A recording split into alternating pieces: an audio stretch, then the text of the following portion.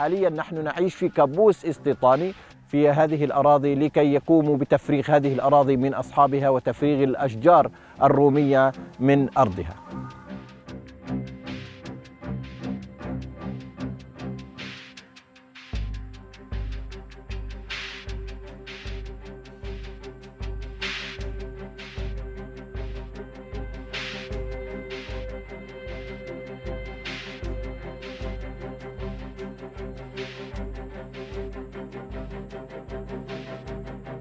أصبح الاستهداف لدى هذا الاستيطان وهؤلاء الفتية المتطرفين بالقتل وإطلاق الرصاص عليهم وحرق الأشجار وقطعها وأيضا إغلاق الشوارع على الفلسطينيين. في هذه الفترة تم إغلاق كل الشوارع الزراعية المؤدية للأراضي.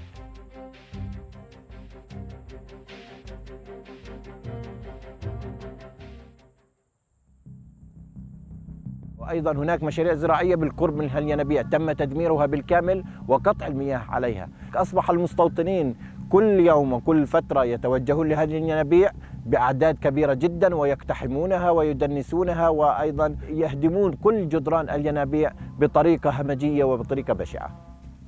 في هذه المنطقة نحن مراقبون، أيضا هناك تمركز لعدة جنود في عدة مناطق في بلدة قريوت يتمركزون على التلال ويستهدفون أي مزارع يتوجه لأرضه ويقومون بإطلاق الرصاص عليه واستهدافه. في هذه الفترة وهذه الأحداث الأخيرة 90% تم مصادرتها. لم يتبقى إلى قريوت إلا 360 دنم. حاليا كل الأراضي الواقعة بالقرب من المستوطنات لا لم يتم التنسيق إليها لأن الأوضاع الأمنية لم تسمح بذلك وقريوت حرمت هذا العام من قطف الزيتون.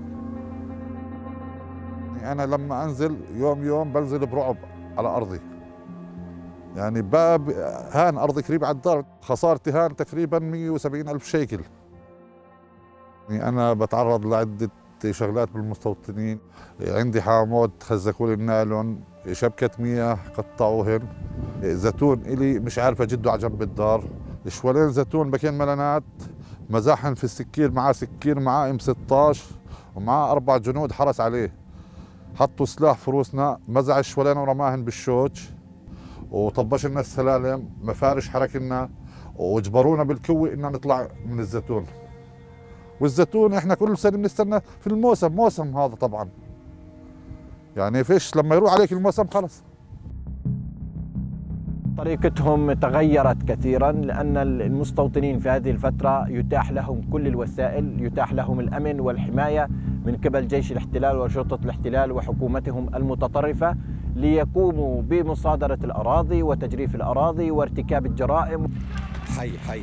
بدون أي حساب وبدون أي عقاب أو أو ضغط لوقف هذه الجرائم. هذه الفترة هي يعني وشيكة على أن تكون يعني هناك جرائم كبيرة جدا.